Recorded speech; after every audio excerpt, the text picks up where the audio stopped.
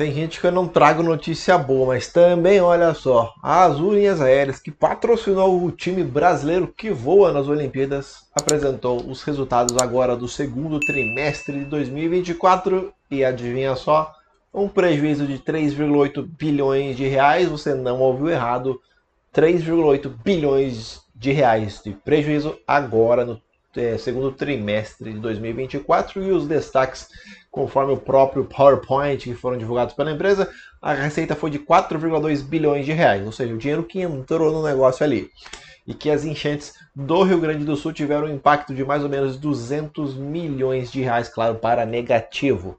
Além disso, a alta do dólar também influenciou para o resultado negativo que a gente já vai ver aqui nesse mesmo vídeo, Afinal de contas, essa pandemia tá foda, por isso que o real desvalorizou 11,7% nesse período. Realmente, todas as companhias aéreas tiveram prejuízos com as operações lá, o que aconteceu é, devido né, o que aconteceu no Rio Grande do Sul. As operações devem voltar, se eu não estou errado, é em outubro.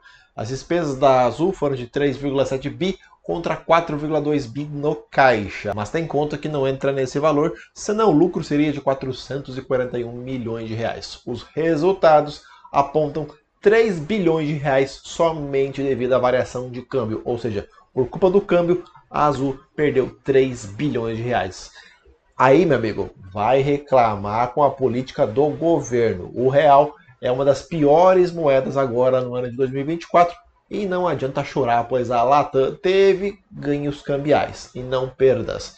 Ah, André, mas a Latam é do Chile, é muito grande, outra moeda? É, pois é, pois é. Garanto que tem vários profissionais na Azul que trabalham no setor, vamos chamar entre aspas, o setor que deve prever a variação cambial. Tem gente que trabalha não sei se exclusivo para isso, mas com certeza muito capacitado para descobrir o que, que, vai acontecer. E o que? Isso impacta no preço das passagens aéreas. Se precisar cobrar mais nas passagens, a Azul vai acabar cobrando.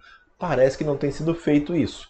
O curioso é que no segundo trimestre de 2022 o combustível estava 5,69, tá? E agora está 4,35. E na época o prejuízo foi de 2,62 bilhões de reais com demanda mais baixa e a pandemia ainda pegando muito forte na, no segundo trimestre de 2022. Mas a receita naquela época foi de 3,9 e agora 4,2 bi. Só para lembrar, tá? O dólar em 2022 variou de 4,64 para 5,23. Fica quase elas por elas aí se for fazer a comparação com esses dois parâmetros.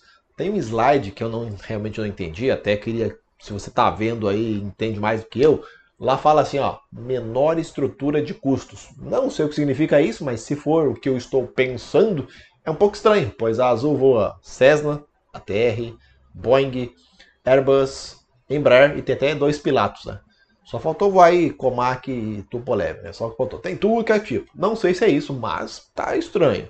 Já a Latam, que obteve 146 milhões de dólares de lucro, algo perto de 800 milhões de reais nesse mesmo período, Sempre lembrando que o resultado é do grupo, portanto, várias economias e operações diferentes em relação à Azul. É só título de comparação.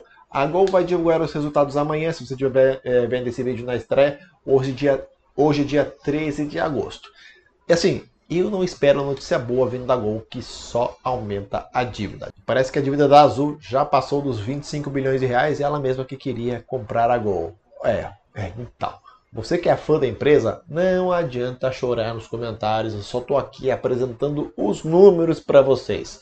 Os dados, da, os dados da dívida da Azul, eles estão desatualizados no, no site oficial, tá? desde o ano passado. Não sei exatamente como é que funciona esse processo de atualizar, deixar de atualizar. Por isso, é, em maio desse ano eu vi 23 bilhões. Agora, se for somar mais esses quatro, não sei se soma. Enfim, é bilhão pra cacete. Mas, para quem acompanha as notícias de aviação, e aqui, claro, acompanha o meu canal, sabe de algumas decisões, o tanto quanto polêmicas da companhia, que devem ajudar esse crescimento da dívida, vamos falar assim. Preste atenção, devem ajudar. Não estou afirmando que é, mas aquela novela complicadíssima do A330, eu tenho certeza que a Azul perdeu dinheiro. Ela mais perdeu dinheiro do que ganhou. Os seis primeiros meses agora de 2024 são 5 bilhões de prejuízo, 700 bilhões no ano anterior e 1,37 bi em 2022. Gente, normal não é. Agora vamos ver se para o próximo período a Azul vai ficar literalmente no azul, porque o negócio está no vermelho faz é um tempinho. E já sabe, gosta do canal, você pode deixar um like, você pode se inscrever para acompanhar mais conteúdo de aviação. Vamos ver o que vai acontecer com a Azul. Deixa tua opinião aqui nos comentários. Até a próxima. Tchau!